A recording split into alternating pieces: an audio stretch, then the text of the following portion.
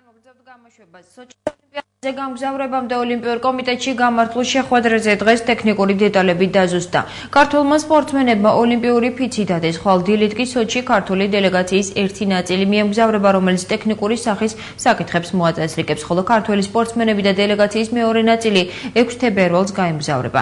სოჩი იქნება საგარეო საქმეთა სამინისტროს საკონსულო წარმომადგენელიც, რომელიც მიმართვის შემთხვევაში ქართულ დელეგაციას დაეხმარება.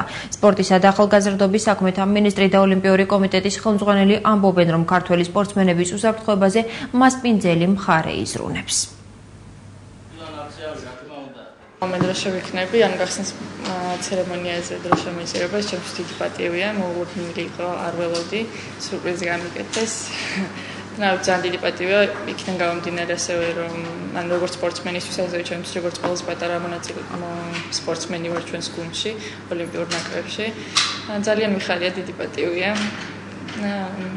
იმედია კარგად წარმოვაჩენ საქართველოს და ყველაფერი კარგად. უნდა ესეთი მომენტებიც იყო რომ ამბობდნენ რომ ჩვენ ოლიმპიადაზე არ მოწავით, მაგრამ მე ვიტყვი რომ მე არ ვარ პოლიტიკოს, მე ვარ სპორტსმენი და ვასრულებ ჩემ მოვალეობას. ანუ გავაკეთებ ჩემს მაქსიმუმს იმისთვის რომ საქართველოს ჩვენი ქვეყანა ვასახელო. პირველი ნაკადემიის სხვა სამკაც შემადგენლობით ეს არის წარმოადგენელი მისიის ხელმძღვანელი გენერალური მდივანი და თვითონ ადმინისტრაციის წარმომადგენელი ჩვენი გოგონა რუსუდან აფციაური.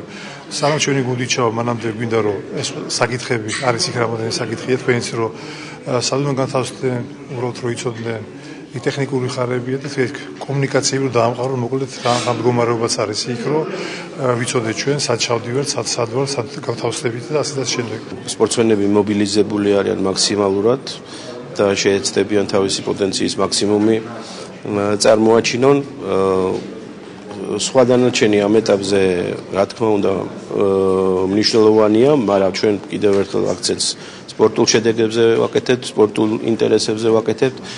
რა შეეხება იმ განწყობას თუ უნდა წასულიყვნენ თუ არ უნდა წასულიყვნენ გადაწყვეტილება უკვე მიღებულია ეს იყო რთული გადაწყვეტილება იმ ფონზე თუ ამ მდგომარეობაშია დღეს ქვეყანა. შვეიცარიის სახლში ოლიმპიური სოფელის ტერიტორიაზე იქნება სწორედ აკრედიტირებული საგარეო საქმეთა სამინისტროს ოფიციალური წარმომადგენელი რომლის უშუალო კომპეტენციაში იქნება დახმარება აღმოუჩინოს ოლიმპიადაში მონაწილე საქართველოს მოქალაქეებს ნებისმიერი სახის დახმარება. ეს იქნება იმასთან დაკავშირებით საკონსულო თუ სხვა მოქალაქეობის ფუნქციებთან დაკავშირებით